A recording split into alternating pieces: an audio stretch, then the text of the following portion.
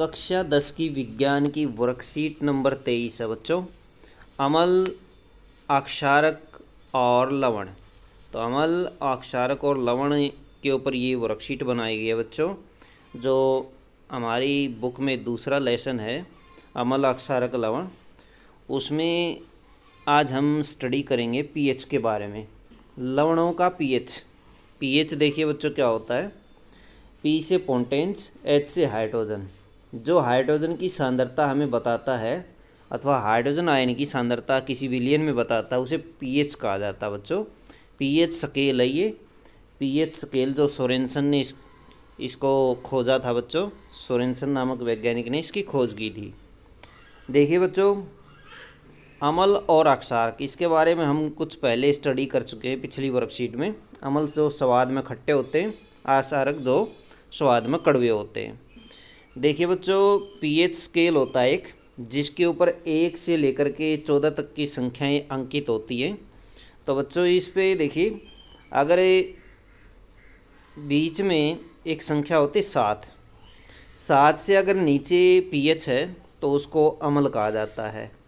सात से अगर ऊपर पीएच है तो उसको अक्षारक कहा जाता है बच्चों। तो देखिए बच्चों, किस तरह से पीएच ज्ञात की जाती है। प्रबल अमल और प्रबल अक्षारक मिलकर के उदासीन लवण बनाते हैं, जिसकी पीएच सात होती है। एग्जैक्ट जिसकी पीएच सात होती है, उसको उदासीन लवण कहा जाता है, बच्चों, जैसे शुद्ध जल शुद्ध जल एक उदासीन है, जो कि जिसकी पीएच सात होती है।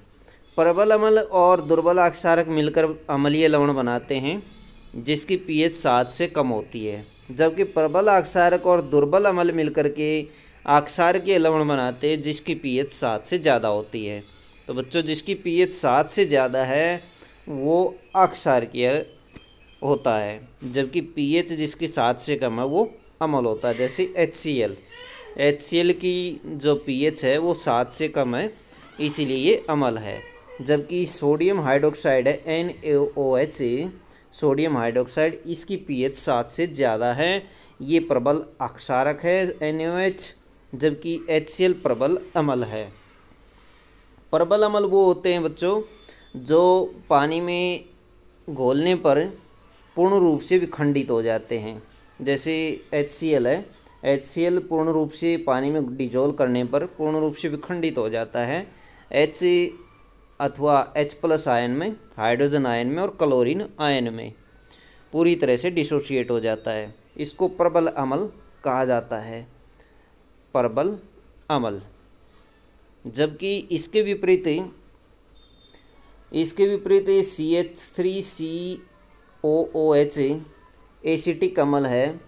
यदि इसको पानी में डिजोल्व किया जाए तो ये पूर्ण रूप से डिसोशिएट अथवा विखंडित नहीं होते। आयनों में पूर्ण रूप से विखंडित नहीं होता। इस वजह से ये दुर्बल ये क्या बच्चों? दुर्बल अमल है। इसी तरह से अक्षारक अक्षारक भी इसी तरह से होते हैं, जो पूर्ण रूप से ओ एच आयन दे देते हैं। ये ओ एच आयनों में विखंडित हो जाए, वो प्रबल अक्षारक होते हैं और दुर्बल अक्षारक इसके विपरीत होते हैं बच्चों। खनिज लवण देखिए। एक क्रिस्टलाइन खनिज के रूप में, अपने प्राकृतिक रूप में नमक को शेंदा नमक या एन के नाम से जाना जाता बच्चों।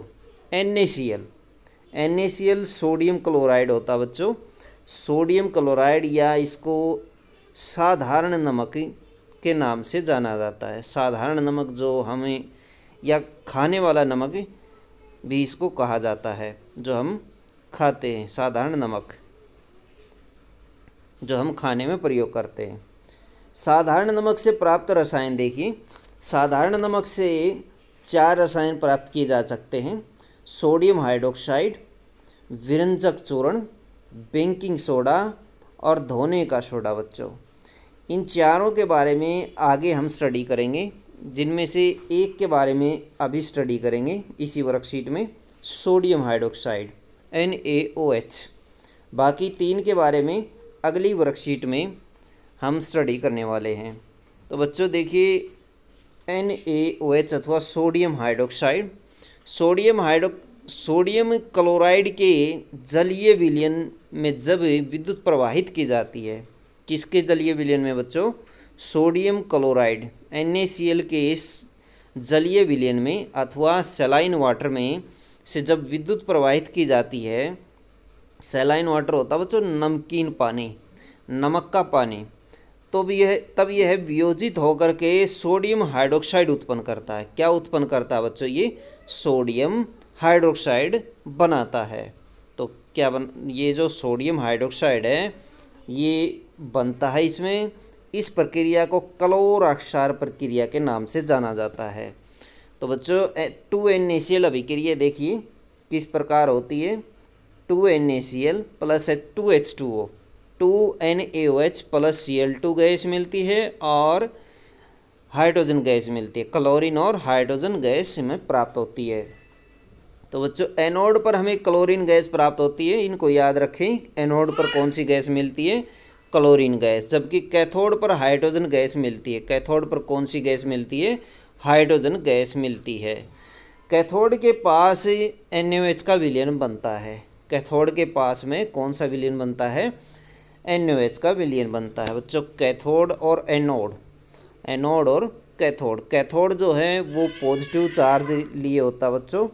कैथोड, ये देखिए, ये कैथोड है, ये एनोड है, जबकि एनोड के ऊपर नेगेटिव चार्ज होता है। ये देखिए हाइड्रोजन गैस और ये क्लोरीन गैस और ये सोडियम हाइड्रोक्साइड इसके अंदर प्राप्त होता है।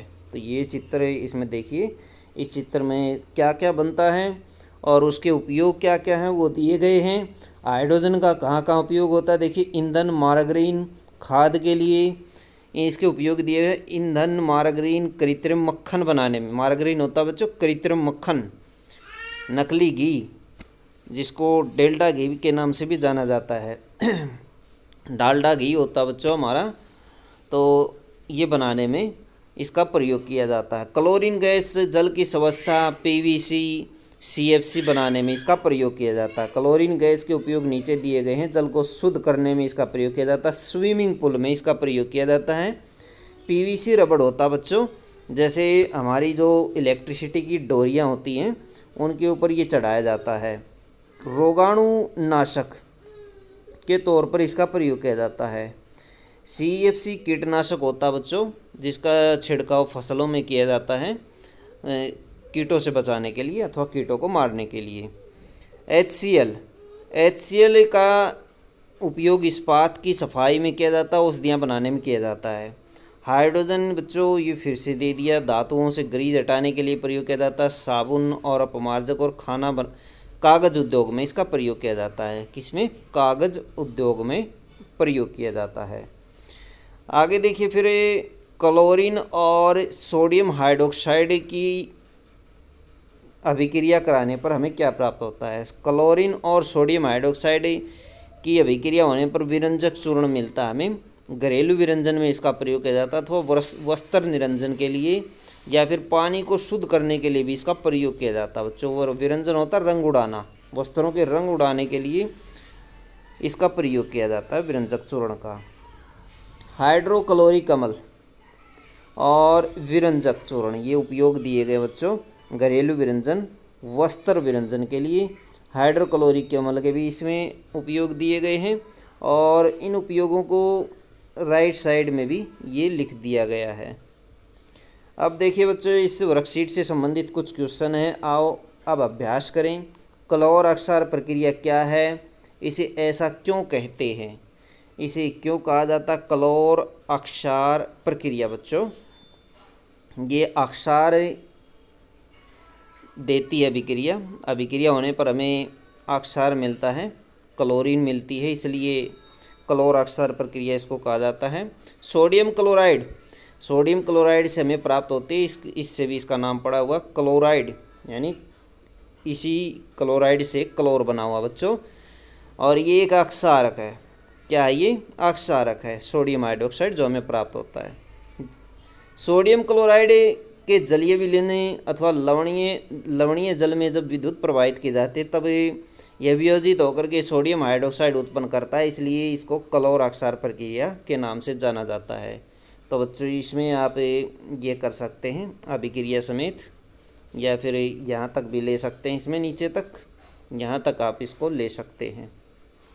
तो ये क्लोराक्षार प्रक्रिया है, ये चित्र आप बना सकते हैं इसमें। लवण जल क्या है? तो देखिए, लवण जल क्या है? इसमें दिया हुआ सोडियम क्लोराइड के जलीय विलयन को लवण जल कहा जाता है। सोडियम क्लोराइड के लवण जल को, जलीय विलयन को लवण जल कहा जाता है।